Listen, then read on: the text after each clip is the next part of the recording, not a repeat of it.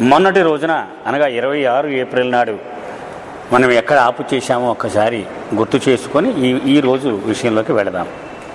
సాధకులు మరి ఇతర బృందాల వాళ్ళకు ఆధ్యాత్మికంగా ముందుకు వెళ్ళాలి అంటే ఏ ఏ దృక్పథము వాళ్ళు అలవరుచుకోవాలి అనేటువంటి ఒక కొత్త చాప్టర్ మనం మొదలుపెట్టాం. ఏడవ చాప్టర్ ఇది. దీనిలో బాబా ఏం చెప్తున్నారంటే మనిషి రకరకాలైన ప్రక్రియలను ఎంచుకుంటూ ఉంటాడు ఆధ్యాత్మిక మార్గములు. ముఖ్యంగా క్రతువులు కర్మకాండలు సంప్రదాయములు కట్టుబాట్లు దాని గురించి చెప్తూ ఆపాం మనం మన మాట్లాడుకుంటూ ఉన్నప్పుడు. అదేమిటంటే మొట్టమొదట్లో ఈ మతము సంప్రదాయము ఇదే ఆధ్యాత్మికము అనుకొని ఆ బాటలోనే నడుస్తూ ఉంటాడు అని చెప్పారు. అయితే మనం నిలుపుదల చేసేటప్పుడు బావు కల్చరీ గారు ఈ విషయం మీద ఆయన ఇచ్చిన ఒక వివరణను మనం చెప్పుకున్నాం. అది స్పిరిచువల్ ట్రైనింగ్ ఆధ్యాత్మిక శిక్షణ అనేటువంటి ఒక పుస్తకంలో అసలు ఈ క్రతువులు కర్మకాండలు ఎక్కడి నుంచి పుడతాయి ఎలా పుడతాయి అనేది అక్కడ జెనిసిస్ వివరించారు బావు కల్చరీ. అది మనకు గుర్తుంది కదండి. ఆయన ఏం చెప్పారు? అవతార పురుషుడు వచ్చినప్పుడల్లా ఆ కాలమాన పరిస్థితులకు అనుగుణంగా ఆయన తన ఇచ్ఛను వెల్లడి చేస్తాడు. ఆ ఇచ్ఛ ఒక్కసారి ఆయన ప్రకటన పూర్తి అయిన తర్వాత అంటే ఆయన మేనిఫెస్టేషన్ విభూతి అనుకున్నాం మనం. అది పూర్తి అయిన తర్వాత నాలుగైదేండ్ల వరకు మాయ ఆయన పాదాక్రాంతం అయిపోయి ఉంటుంది నాలుగైదు వందల ఏళ్ళు అని చెప్పారు ఆ తర్వాత ప్రపంచము ఆయన శక్తిని అందుకునేటువంటి శక్తి సన్నగిల్లుతుంది అది నీరసపడుతుంది అంటే సంశయాలు సందేహాలు వస్తూ ఉంటాయి. అప్పుడు ప్రపంచం ఒక రకమైన సందిగ్ధంలో పడుతుంది. ఆయన ఇచ్చంటే ఏమిటి? అని. వెంటనే పూజారి వర్గం తెర మీదకు వచ్చి వాళ్ళు అవతారం ఇచ్చే ఇది అని వక్ర భాష్యం చెప్పడం మొదలు పెడతారట. అక్కడి నుంచి మొదలవుతాయి ఈ క్రతువులు కర్మకాండలు సంప్రదాయములు వ్యాఖ్యానాలు. ఇవన్నీ అక్కడి నుంచి మొదలవుతాయి. అంటే అసలు అవతారుడు ఏది చెప్పాడో అది పక్కకు తొలగిపోయి ఆయన చెప్పినటువంటి మాటల్లో ప్రక్షిప్తము అంటాం. అంటే నాకు ఏది ఇష్టమైతే దానిని అక్కడ బాబా ఇలా చెప్పాడు అని ఇప్పుడు సప్తవాస్తవములో ఒకటి తీసేసి నేను అనుకున్నది పెట్టేస్తాను అక్కడ. మొరొక్కిన వరమీయని వేలుపు గ్రక్కున విడువంగ వలియు గదరా సుమతి అని. అసలు మొత్తం సుమతి శతకానికే అది ఒక విషపు మచ్చలాగా ఉంటుంది నాకు ఆ పద్యం వింటే. అంటే మురొక్కిన వరమిపోతే గక్కును విడివే విడిచేయాల ఏంటి అదేనే మనం నేర్చుకున్నది ఆయన దగ్గర. అలా ఉంటుందన్నమాట. అది పాపం ఆయన రాసేయడానికి నాకు అనిపిస్తూ ఉంటుంది. ఎవడో నా బోటోడు అక్కడ రాసి అందులో ప్రక్షిప్తం చేసి పెట్టేసిన అది చలామణి అవుతుంటే ఆనందపడుతూ ఉంటాడు. అది గ్రంథచౌర్యము అని ఉంది సాహిత్యంలో. అది కొంతమందికి అదొక ఆనందం అనమాట నేను అనుకున్న మాటను ఆ వేమన దగ్గర ఎక్కడో పెట్టేసి అది అందరూ చెప్పుకుంటే ఓహో భలే అనుకుంటాను నేను. అలాగూ బాబా ఏమన్నారు? ఇప్పుడు జ్వరాస్తరు వస్తే ఆయన చెప్పిన ప్రవచనాలు చూసి నేను చెప్పినవేనా ఇవి? అని ఆయనే తల కొట్టుకుంటాడు అని బాబా చెప్పారు. రామాయణం అంతే భారతం అంతా భగవద్గీత భాగవతం అన్నీ మారిపోయి ఏది క్షమించలేదు మానవుడు. ఇప్పుడు ఉన్నది చాలా తక్కువ శాతము మూలప్రతి ఉన్నది. మొత్తం మారిపోయింది అని చెప్పాడు అదే క్రతువుల గురించి కూడా చెప్తూ ఆగాం మనం మన మొన్నటి రోజున. Rituals and ceremonies cannot carry one very far towards the path Baba అంటున్నారు.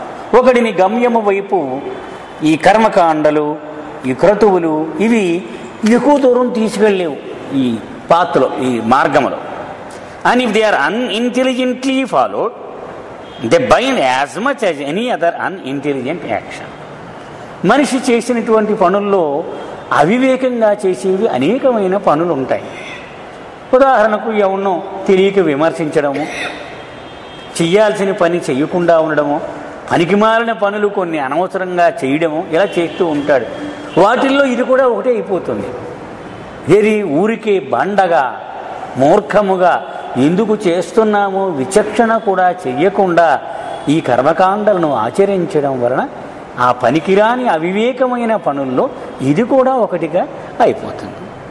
In fact when they are deprived of the inner life they are in a sense more dangerous than other in intelligent action because they are pursued in the belief that the help towards God realisation ఇంకా బాబా చెప్తున్నారు. ఒక రకంగా చెప్పాలంటే ఈ కర్మకాండల వెనుక అనుభూతి అనేటువంటిది పూర్తిగా అది మిస్ అయిపోతే మిగిలిన అవివేకమైన చర్యల కంటే ఇది చాలా ప్రమాదంగా పరిణమిస్తుంది.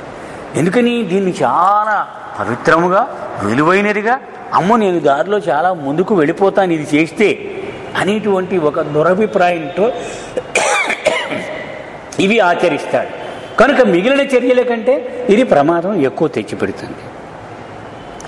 Due to this element of self delusion lifeless forms and ceremonies become a side track to the path delusion అంటే భ్రాంతి. అంటే ఒకదాని బదులు ఒకటిగా మనం ఆ పొరపడ్డాం అనమాట ఇప్పుడు తాడు చూసి అమ్మ పాము అనుకోని వీడి నీరసం వచ్చేసి గుండు జారిపోయే పరిస్థితి వస్తుంది. అది ఎలాగైతే ఆ భ్రమ ఉంటాడో. ఇది కూడా అంత ప్రమాదాన్ని తెచ్చిపెడుతుంది. ఒకడిని మార్గం నుండి పక్కకు కూడా మళ్ళించేస్తుంది ఏది? ఈ కర్మకాండని మూర్ఖముగా పట్టుకొని దాని వెనక వెళితే అది నీకు నష్టము చేకూరుస్తుంది. Through mere force of habit one can become so attached to it to raise external form that intense suffering may be required to dispel their imaginary value బండగా చాలా కాలంగా వీటికి అలవాటు పడిపోయి ఇక అది లేకపోతే వాడికి స్థిమితం ఉండదు.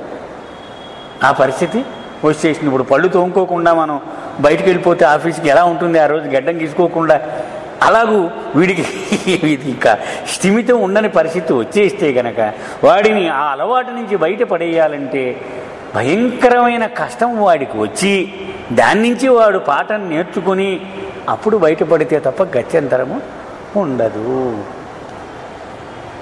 బాబా ఒక ఉదాహరణ కూడా చెప్పారు ఒక చోట. ఒకడు మండలివాడు. ఎవరో ఒక పెద్ద గజల్ సింగర్ని తీసుకొచ్చాడు. ఎక్కడో నాసిక్లో ఎక్కడో జరిగింది.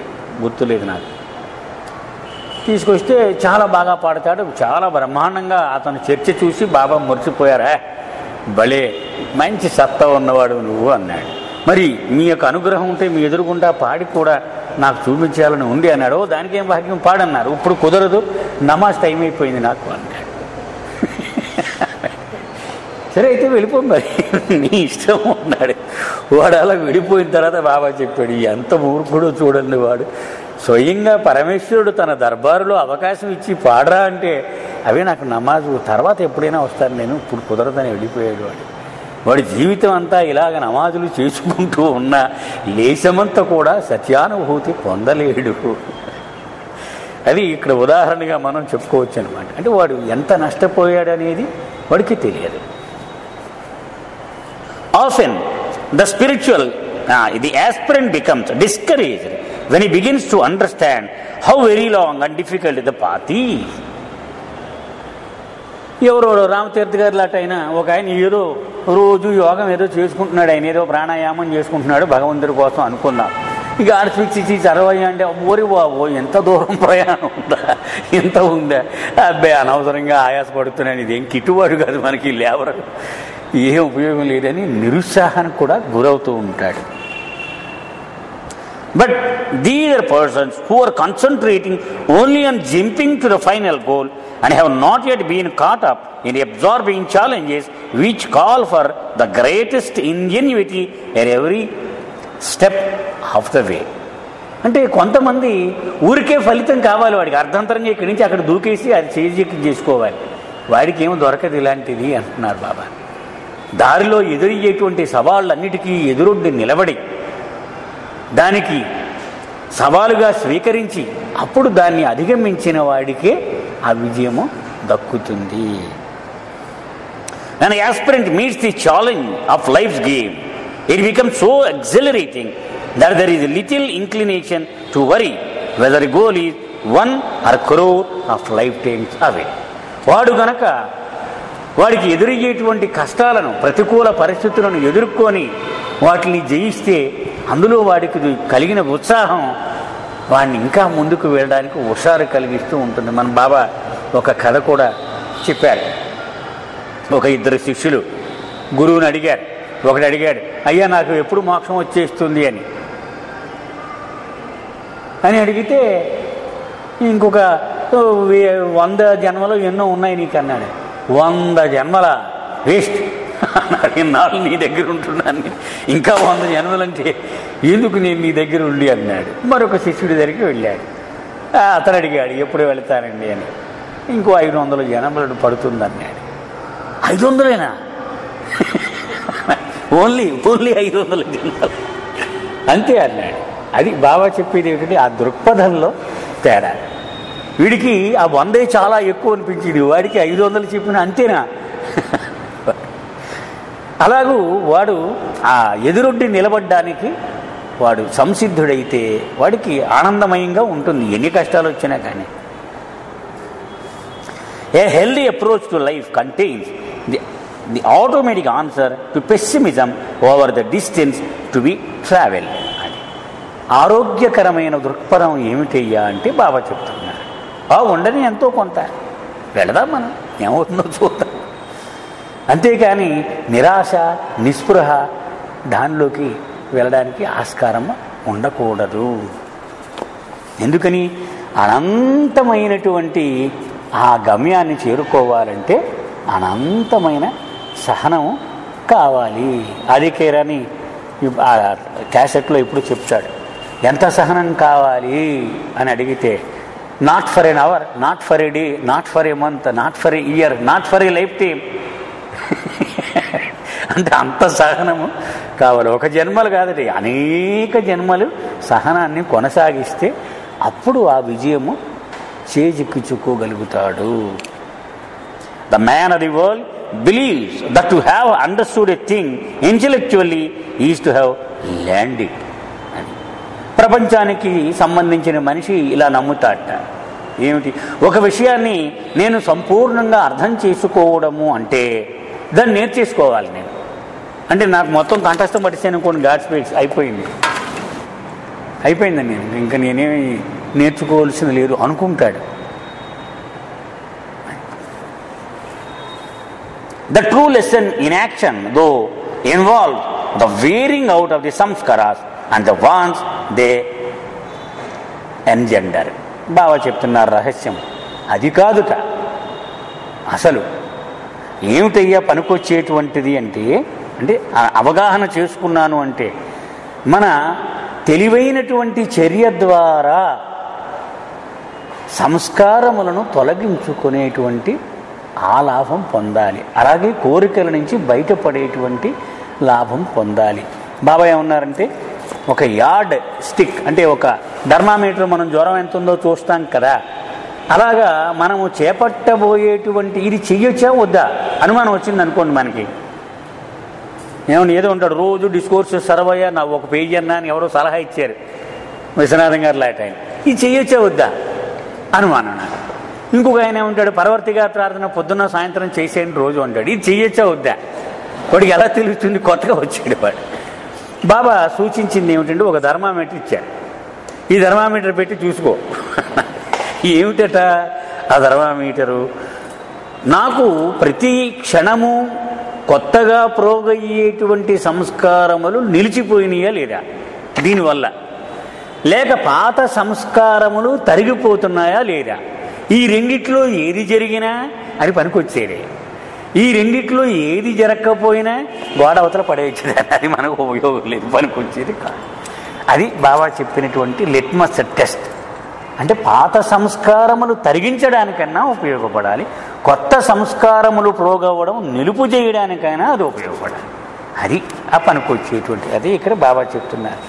వాడు ఒక విషయం అర్థమైందండి అంటే ఏ రకంగా వాడికి ఉపయోగపడాలంటే సంస్కారములు తరిగించడానికి సంబంధిత కోరికలను కూడా తరిగించడానికి వీడికి అది దోహదపడాలి. To learn in the sense it is not enough to complain intellectually అది తెలుసుకోవడం అంటే బుర్ర ద్వారా తెలుసుకోవడం కాదు అంటున్నారు బాబా. అంటే దాన్ని డిక్షనరీలు తిరిగేసి దాని అర్థం ఏంటో చేసుకుంటే అది కాదు. అసలు టు లెర్న్ తెలుసుకోవడం అంటే.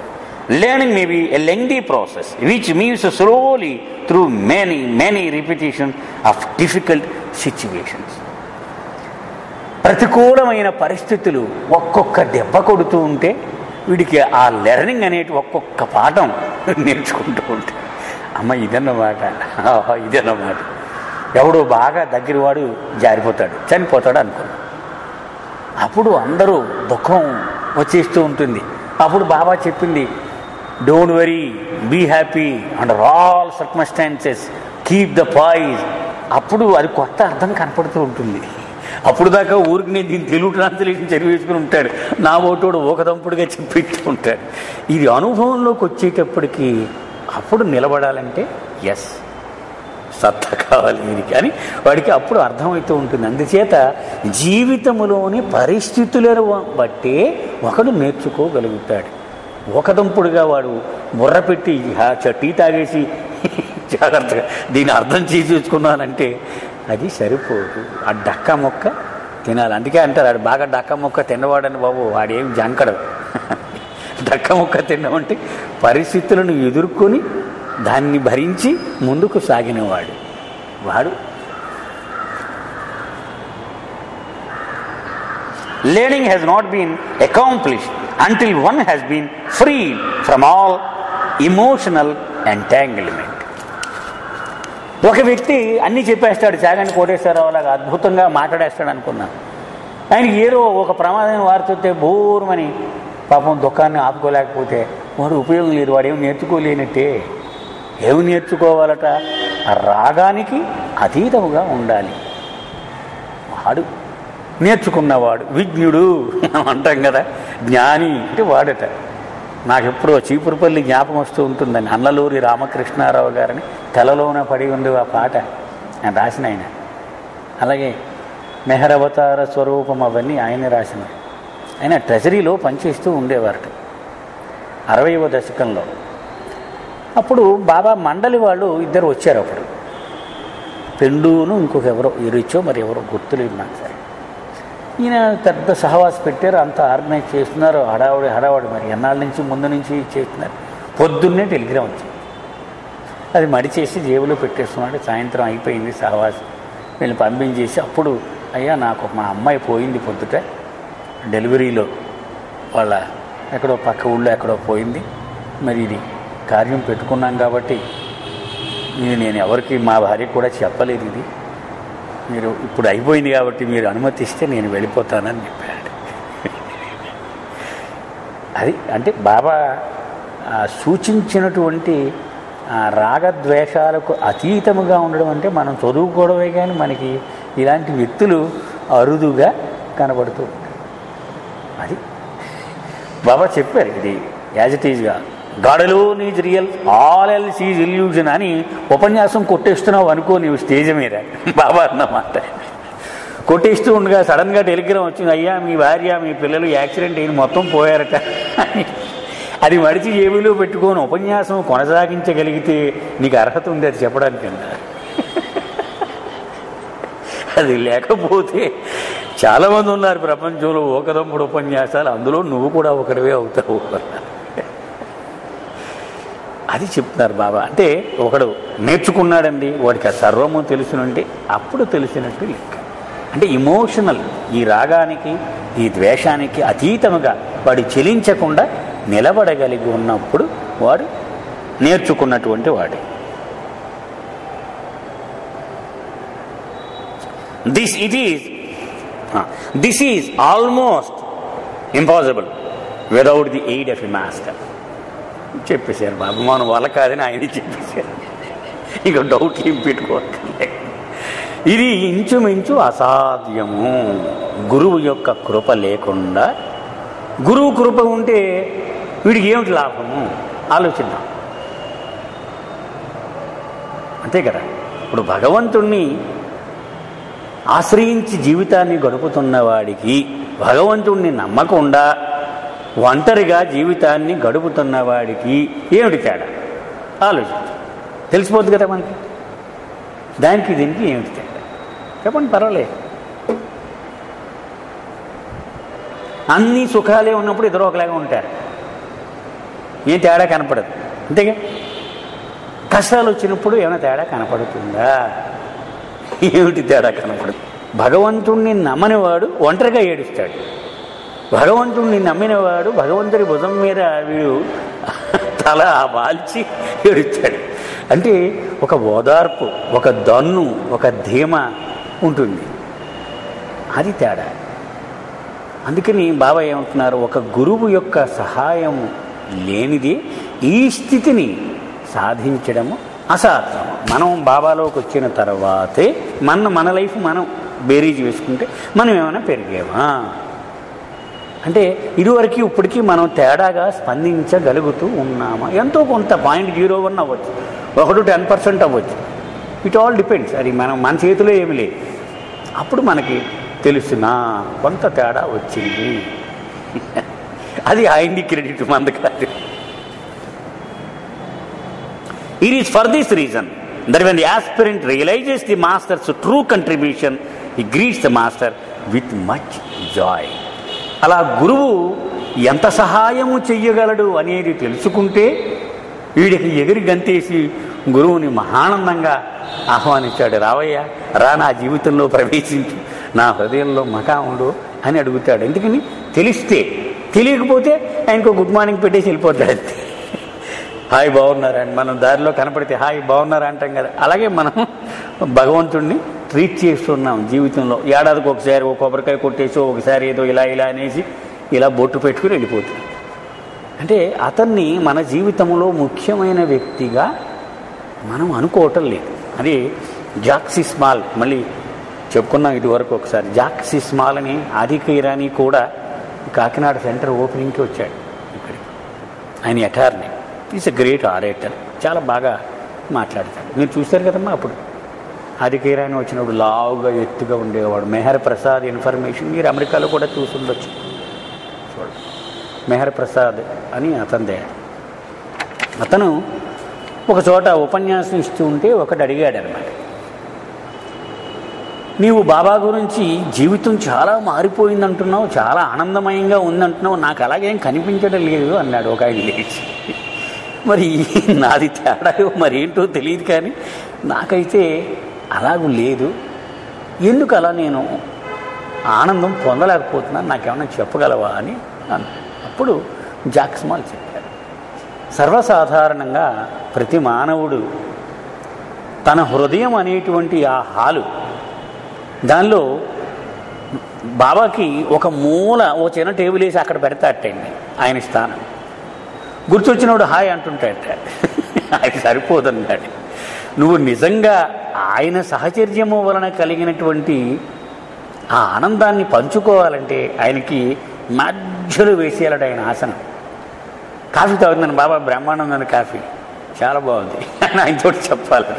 చికెన్ తింటున్నాను బాబా చికెన్ సూపర్ ఇవాళ చాలా బాగుంది అన్నాడు. అంటే మనము జీవితంలో చేసిన ప్రతి చర్యకు ఆయన పార్ట్నర్ అయిపోవాలి.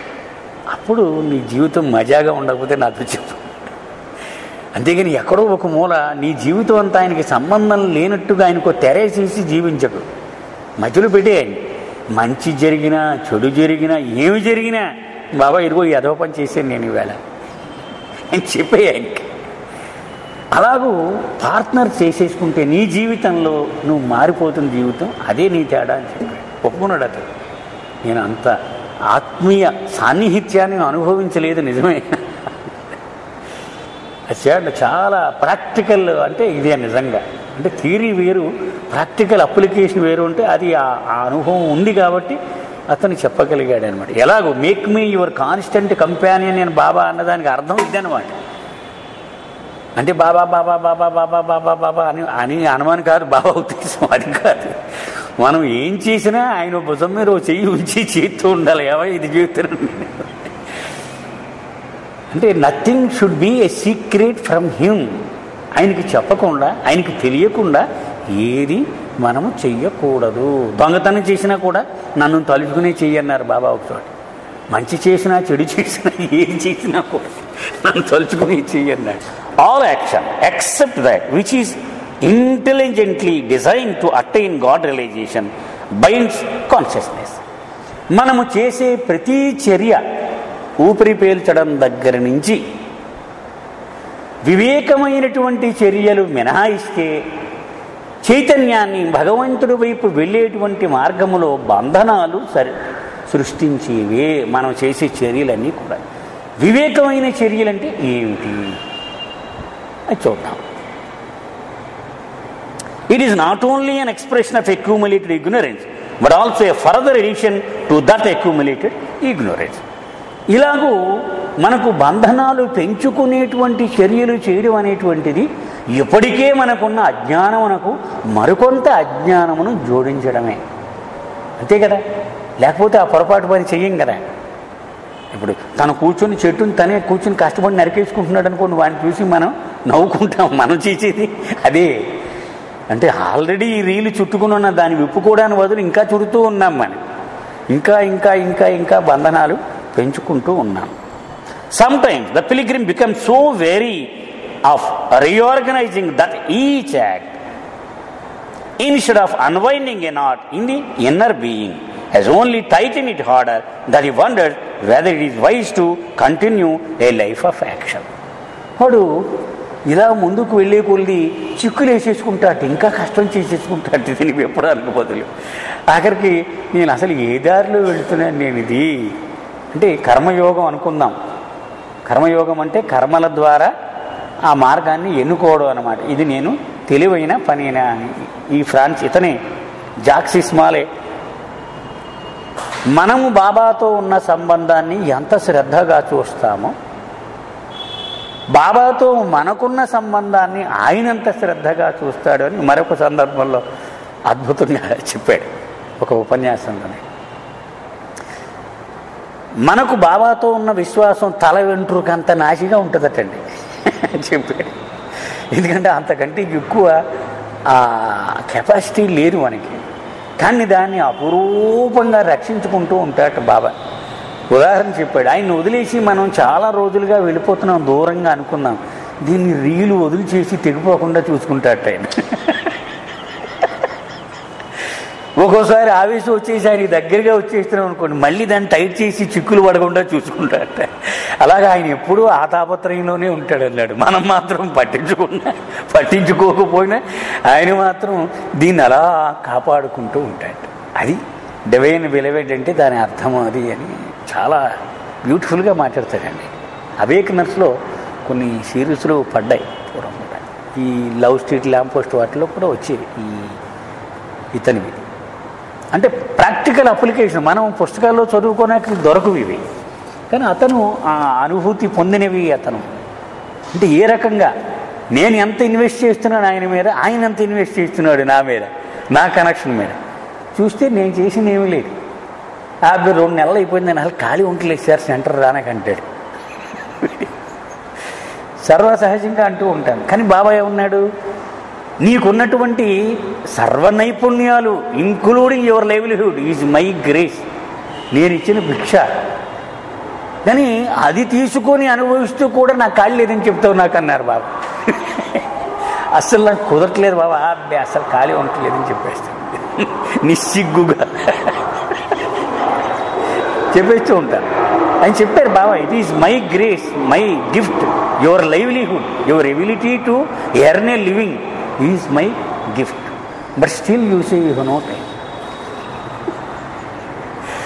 అంటే మనం ఎవడికి వాడు మనం బేరీజ్ వేసుకోవాలని మరి ఇదంతా మనమే సంపాదించుకున్నామా మనమే చేసుకున్నామా? కాదు. ఆయన చెప్పేశారు మనకు ఒకవేళ పొరపాటున అవుననుకుంటామేమో నేను ఇచ్చాను రా నీకని depending upon the needs of your spiritual journey I regulate the flow of finance to every lover అని కూడా బాబా చెప్పారు.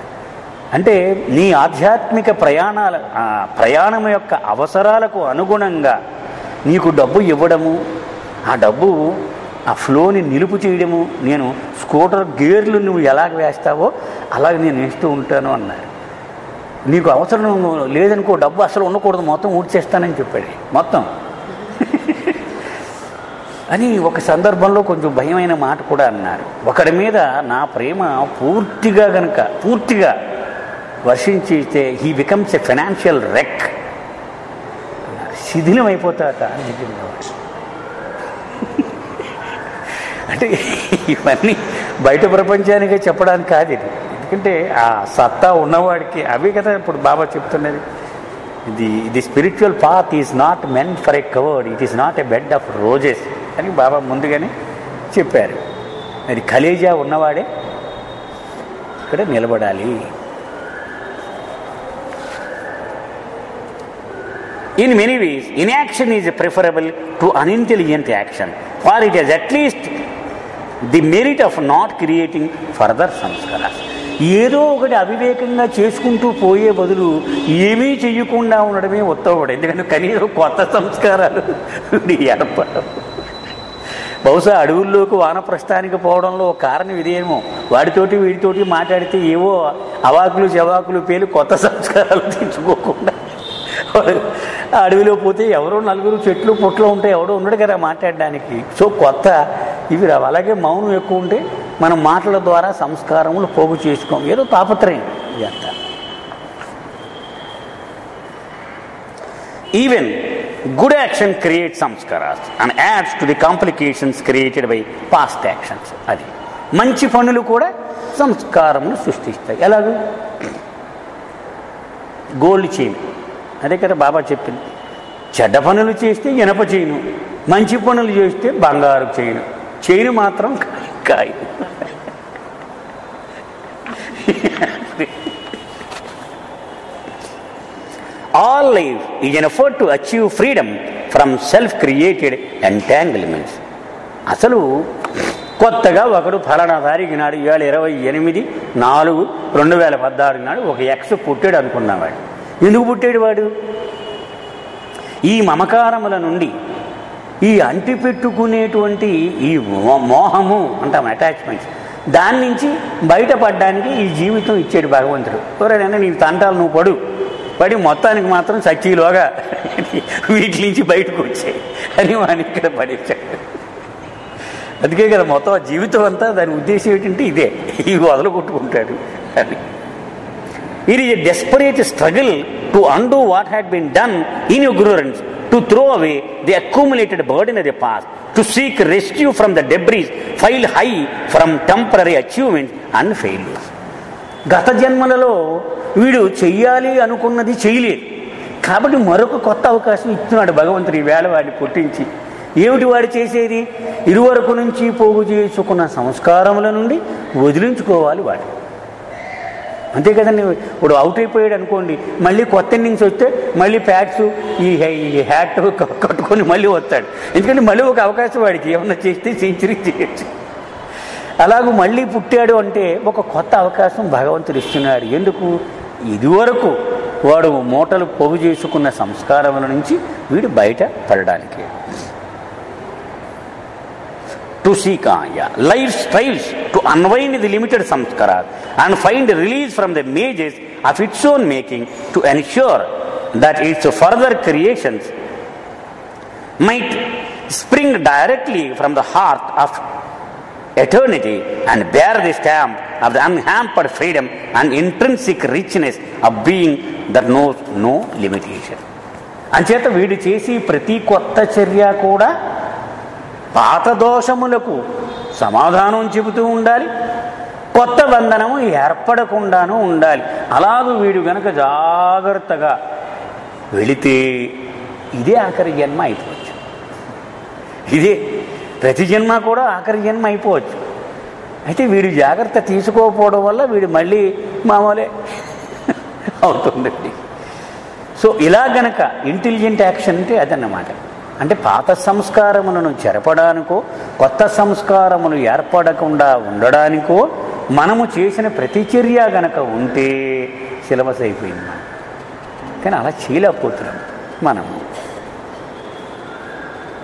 Action that is aimed at attaining God is truly intelligent భగవంతుణ్ణి పొందేటువంటి దోహదం చేసేలాగు ఏ చర్య అయినా మన చర్య దోహదపడితే అది తెలివైనటువంటి చర్య వివేకముతో కూడిన చర్య. And spiritually fruitful because it brings release from bondage అది పనికొచ్చేటువంటిది. ఎందుకని? నీవు కట్లు మనం సినిమాలో చూస్తూ ఉంటాం హనుమంతుడిని మొత్తం కింద నుంచి పైదాకా కట్లు కట్టేసి అలా ఉన్నాం ప్రతివాడు కట్లు కట్టేసుకోండి ఈ బంధనాల నుంచి విడుదల కల్పించేది ఏ చర్య అయినా సరే అది వివేకముతో కూడిన చర్యే అవుతుంది. It is second only to that action which springs spontaneously from the state of divine knowledge its అది. దివ్య జ్ఞానము నుంచి వచ్చినటువంటి ఏ చర్య అయితే ఉందో దాని తర్వాత చెప్పుకోవాలంటే ఇదే చెప్పుకోవచ్చు. మనం పనికొచ్చే ఇదే? దేవుని నుంచి వచ్చేది ఎలాగో పనికొచ్చేది.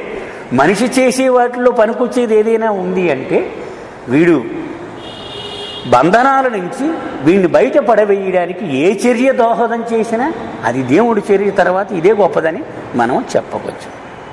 All other forms of action however good or bad and however effective or ineffective from the worldly point of view contribute to bondage are so as such inferior to inaction ఏమీ చెయ్యకుండా ఉండడమే ఉత్తమమైనటువంటిది. మనిషి చేసిన అతి గొప్ప విజయాలతో పోలిస్తే వీడు ఏమీ చేయకుండా ఉంటే బాగుండు అనిపిస్తుంది మీకు. వెనకాల ఎనాలిసిస్ చూస్తే. ఎందుకని? ఇవన్నీ చేసి వీడు తన్ను సంస్కారములు తెచ్చుకున్నాడు. ఏమీ చేయకుండా తాగి పడుకునేవాడు అనుకున్న వాడేమి కొత్తను ఒకడు కూడా తెచ్చుకోలేదు. వాడే బెటర్ ఇప్పుడు బ్యాంకుకి లోన్ వచ్చినప్పుడు మేము అనుకునేవాళ్ళం అనమాట వాడు ఒక ఐదు లక్షలు పెట్టుబడి పెట్టాడు మూలధనం. ఏదో రైస్ మిల్ నడుపుతున్నాడు ఎంతలా? ఐదు కాదు ఇరవై లక్షలు ఇరవై ఐదు లక్షలు పెట్టాడు. ఎంత లాభం అంటే రెండు వేల మూడు వందలు లాభం అంటాడు.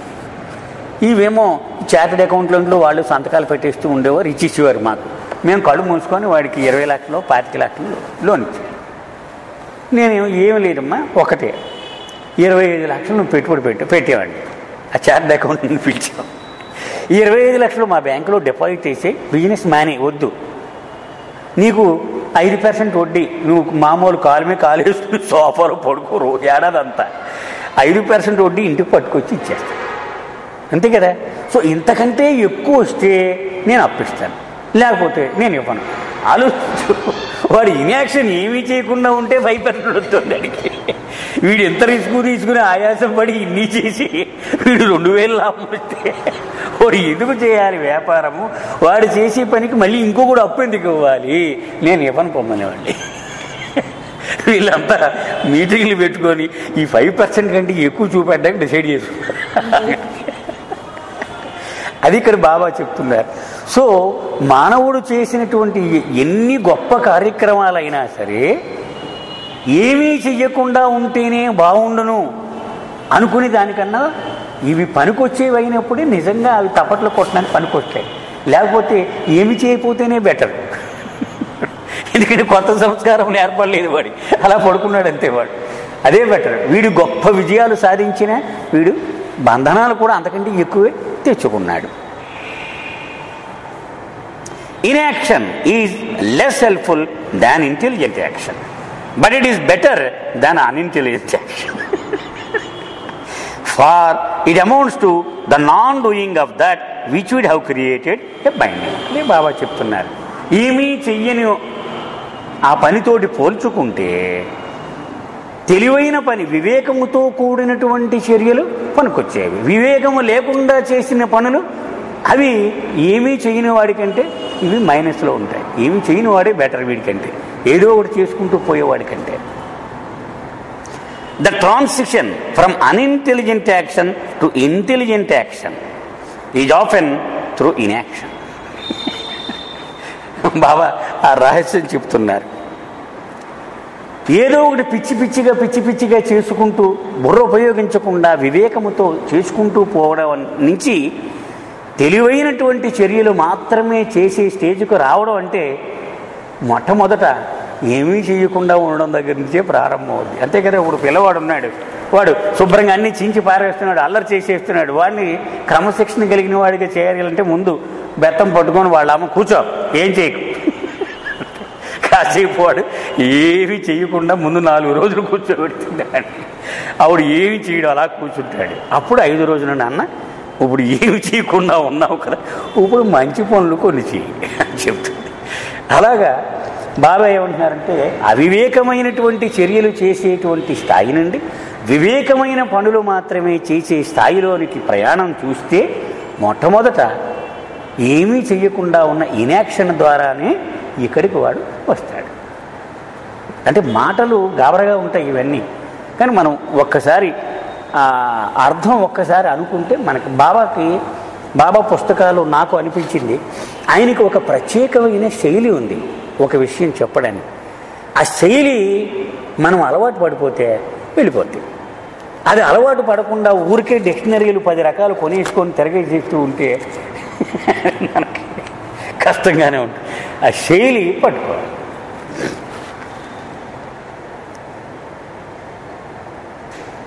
This is the stage when unintelligent action has stopped because of critical doubt unintelligent action has not yet begun because adequate momentum has not been achieved అది ఇందాక అనుకున్నది.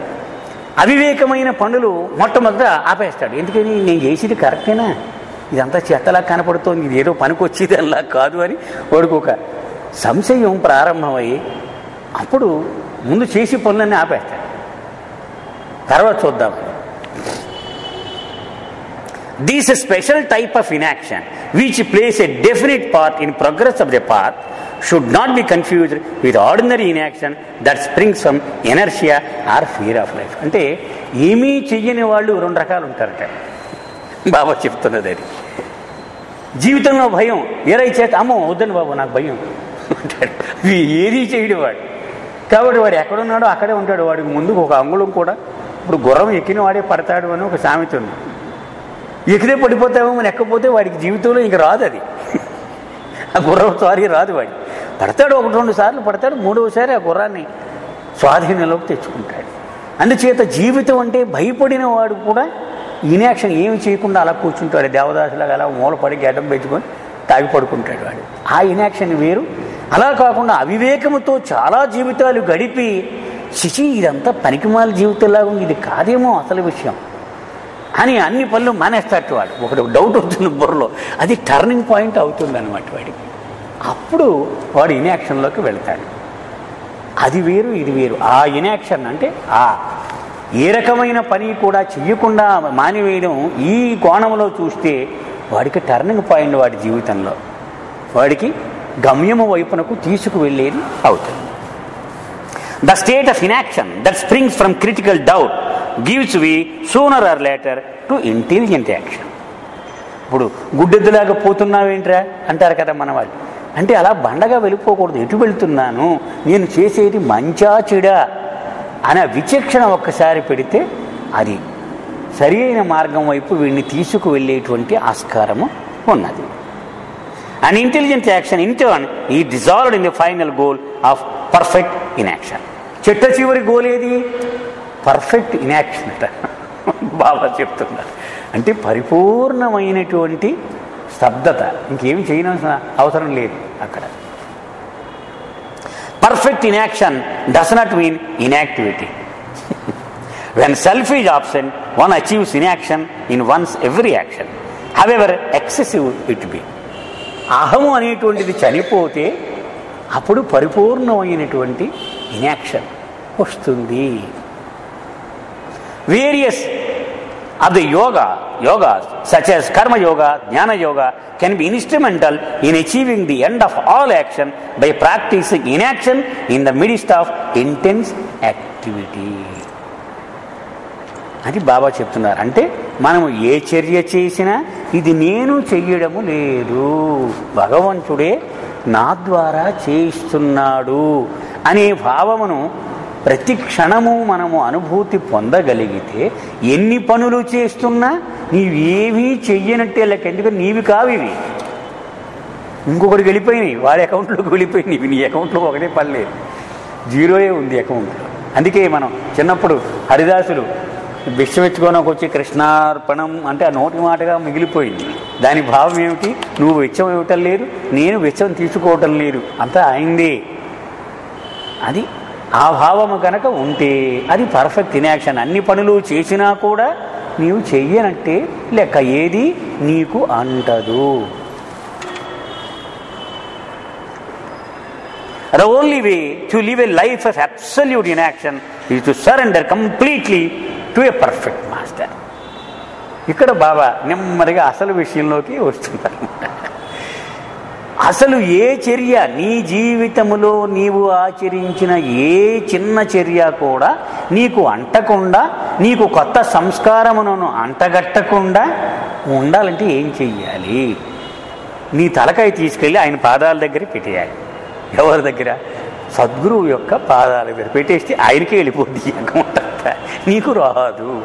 అది సరెండరెన్స్ సర్వ సమర్పణ అని అన్నారు బాబా. Then one dies entirely to oneself and live only for the perfect master, acting and fulfilling the dictates of the beloved one. ఆయన పాదాల దగ్గర సర్వ సమర్పణ అయిపోతే వాడికంటూ వాడు చచ్చిపోయాడు ఇక. వాడు లేడు. ఒక సద్గురువు కోసమే బతుకున్నాడు వాడు. ఆయన ఏం కావాలి? ఆయన ఏం చెబుతాడు? ఈ రెండు విషయాలే వాడికి. మూడో విషయం లేదు ఇక వాడికి.